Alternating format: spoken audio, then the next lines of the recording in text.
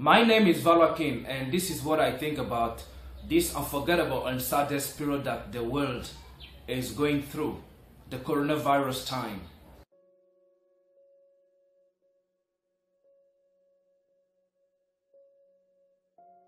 Ladies and gentlemen, you are not only witnessing the beginning of the Third World War, but you are also witnessing to the most serious collapse of the world's economy.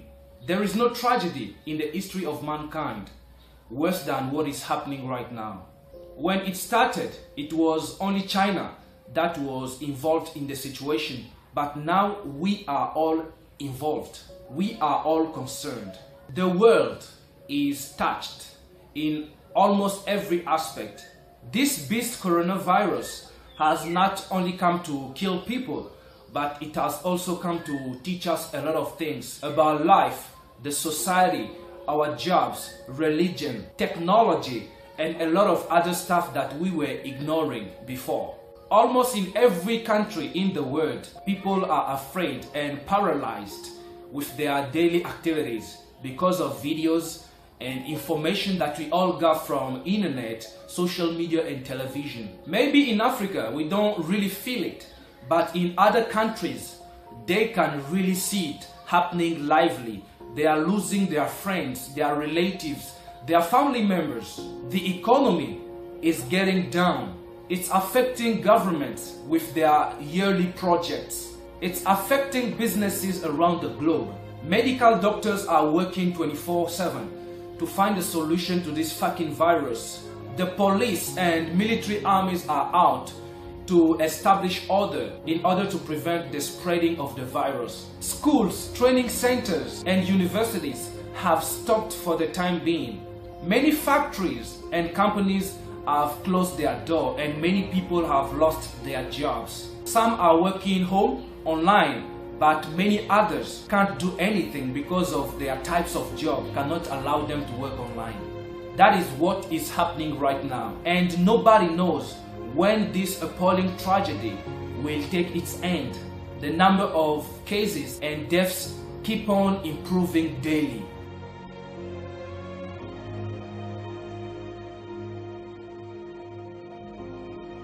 I have a lot to say about this question but I'm just going to point out some important points that I think people should take into consideration. I think people should think of redirecting their lives. This is the time that people out there need help from you. They need your services to be human and to do what is right. In Africa, many sellers and traders have increased the price of food, masks, hand gels, and many other things at the marketplace. That's not human. It's really unfair from you, patriots of Africa, to do that. This is the time that people need leaders like you to give them hope, to innovate something that can help, or to facilitate a common need. Smart people of this world have already understood that this is the time to make money by creating websites, platforms, that everybody wants to use in this period of time. This is the time that you have to understand that you have to start something online because technology is moving and you have been on delay. I don't know what you are going to start online on the internet, but this is not the last time that the world is going to know this kind of crisis. It will come again in years to come. For COVID 19, nobody was prepared, it surprised everybody. But you have to be ready and prepared for the next time that this kind of tragedy will come and shake the world. If you work in a company for 8 hours or 10 hours a day, this is the time that you should think of investing even 2 hours a day in order to learn and create something that can back you up in this kind of circumstances. The world is complaining a lot about product services, and a lot of things that are no more available at the marketplace. Opportunities are found where people complain.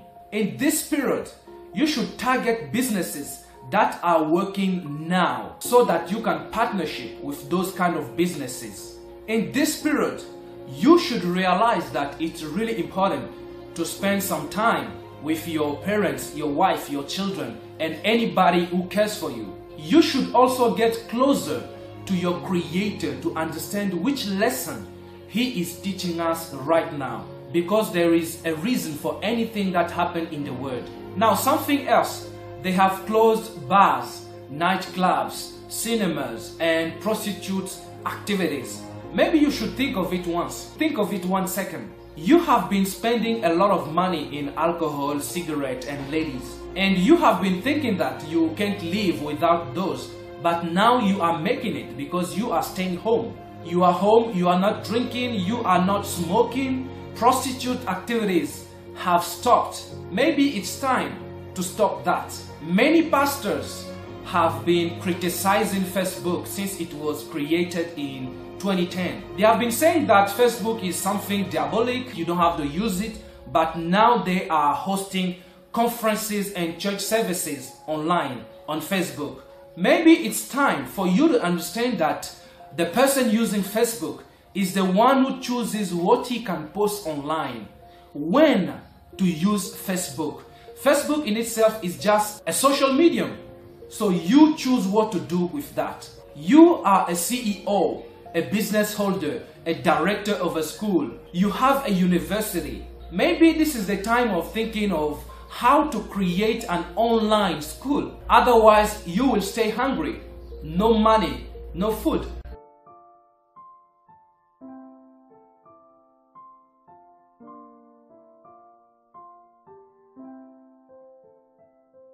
In order to deal with this pandemic period of coronavirus, first of all, we have to be optimistic that it shall come to pass. It's okay, and there's no need to panic or to complain to one another. I've seen so many debates in my area, fake news and information going around, and many discussions in public transports about coronavirus. It is panic and fear, nothing else.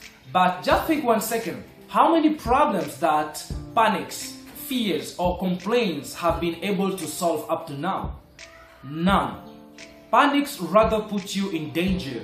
The more you panic, the more likely you are to get the virus. So don't panic. The virus itself, it's not that dangerous as you have been informed, as you think, because many people are healed from the coronavirus. Although doctors and medical experts are working so hard to find medicine to that beast. But for the time being, you can take chloroquine and appease your heart. What I personally advise you is to be wise in taking the supposed medicine or vaccine that will be coming around very soon. Stay home if possible and follow sanitarian recommendations that have been sent to us through WhatsApp groups, videos, and television. I'm not a doctor to tell you exactly what you need to do. But don't worry, coronavirus is not as dangerous as you have been informed. Lack of information kills people. That's why many people have passed away up to now. Understand that it's a period that will pass. It has already happened. People have to die and others have to remain. It's a reality. You have already overcame this kind of periods in your personal life. You don't just remember, and the world has known many crises like this. South Africa has known HIV. Congo Brazzaville have known cholera and DR Congo Ebola. And many other countries have known tough times like this. Oftentimes, a lot of people die, but yet many others remain. Don't be afraid, don't panic, and don't complain. Rather, get the right information about the virus and the country situation where you are watching this video from.